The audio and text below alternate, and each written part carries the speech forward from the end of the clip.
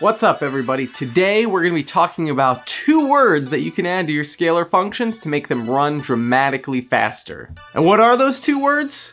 With schema binding. And at this point you might be thinking, Bert, schema binding optimizations were added all the way back in SQL Server 2005. Why are you making a video about this today? And you're right, it is an old feature. But here's a dirty little secret.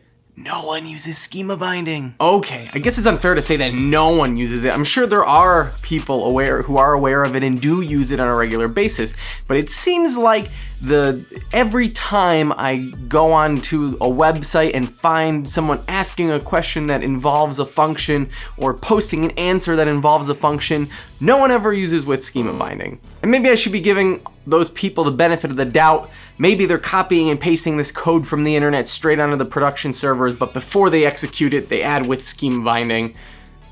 Maybe. So let's talk about what schema binding does.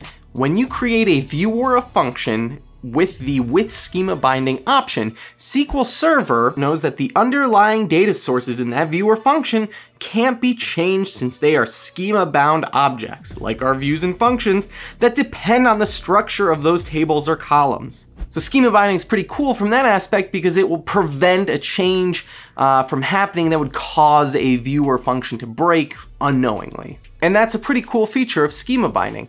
But what's even cooler is what the SQL Server Optimizer can do when you add with schema binding to a non-data accessing scalar function.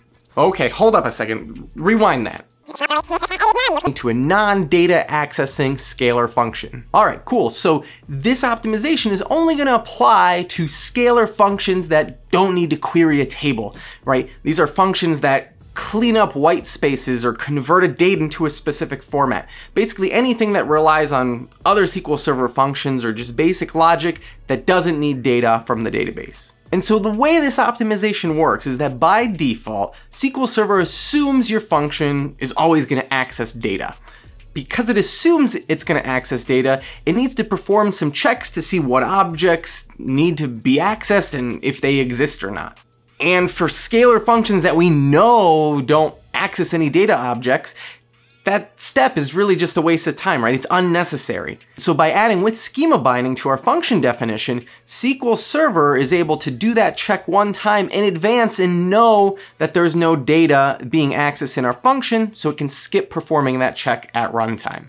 You can see an example of this optimization in action in these two non-data accessing scalar functions. Our first function, which is not schema bound, takes over 1500 milliseconds to complete. Our second function, which does have the with schema binding option, takes only around 60 milliseconds to execute. That's way faster than our function that didn't include the with schema binding option. And the performance you get from the schema binding optimization doesn't only occur in these select and insert statements.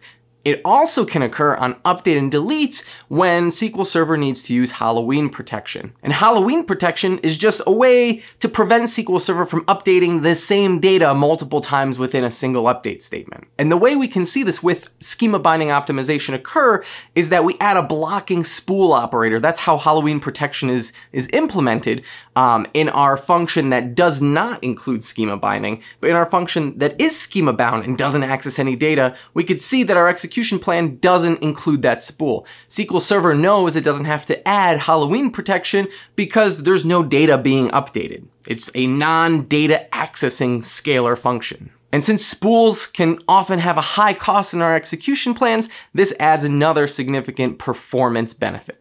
In conclusion, if you have non-data accessing scalar functions, add the with schema binding option to get a significant performance boost.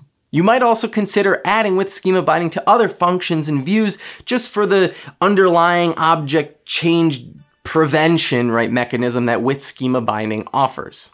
So after today, I hope some of your slow running scalar functions run just a little bit faster because you've added the with schema binding option to them. And if you already had the with schema binding option, well, give yourself a pat on the back because you're awesome. And as always, be sure to press that subscribe button so you never miss a weekly SQL Server video, and I'll see you again next time. Thanks for watching.